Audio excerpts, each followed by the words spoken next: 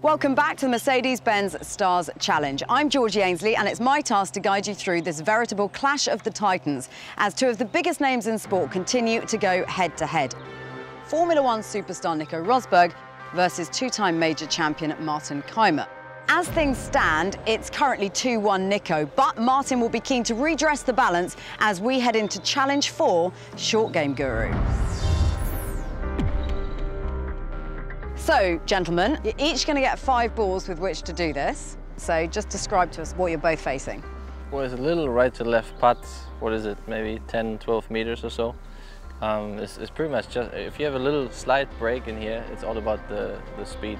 Nico, first up, we're going to ask you um, to see if you can get as close as possible to this hole, what possibly get, even a hole in one. What if I get in the hole? Then I've decided it, haven't I? Well, then you've, you've won the competition if Martin doesn't level right. things up and do the same thing. I'll aim for that one. So let's see how you get on. He goes for it. You do go for it. There's no sort of Why bottling not? out. Yeah. Well, he should go for it. It's not bad. Ah, rubbish. It's a good one. One more to extend your lead. Like your Ryder Cup In the uh, last putt, right? It was a little shorter, but was there were a few more people around as well. Ah, Oh, no! So bad. So now it's the turn of the golfing professional.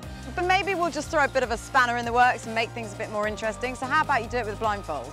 sure. Why not making it I more- say a blindfold. What I really mean is a Mercedes-Benz tie. Oh, a tie.